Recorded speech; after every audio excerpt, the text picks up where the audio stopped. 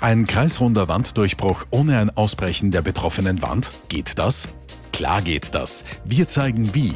Was es braucht, ist eine Schablone. Ein Stück Schaltafel hilft uns dabei. Wir haben den benötigten Durchmesser bereits angezeichnet und das zentrale Loch gebohrt. Danach bohren wir entlang der Markierung ein Loch nach dem anderen durch die Schaltafel. Der Durchmesser dieser Löcher ist dabei so groß wie der Durchmesser unseres Mauerbohrers. Jetzt können wir mit dem eigentlichen Mauerdurchbruch beginnen. Dazu bohren wir zunächst ein Loch im Zentrum des benötigten Durchbruchs. Das gelingt perfekt und ohne Probleme. Als nächstes führen wir eine Gewindestange durch das eben erzeugte Bohrloch und befestigen die Schablone mit Unterlegscheiben und Muttern. Jetzt wird gebohrt.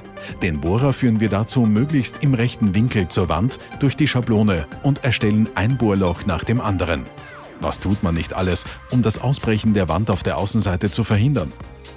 Sind die Löcher einmal gebohrt, nehmen wir die Schablone ab und stemmen den Wanddurchbruch mit dem Bohrhammer und dem Meißelaufsatz vorsichtig frei.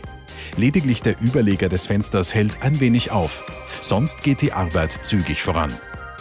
Aber schon bald ist auch das geschafft und der Wanddurchbruch ist fertig. Da kommt Freude auf. Hat dir das Video gefallen? Abonnier uns doch!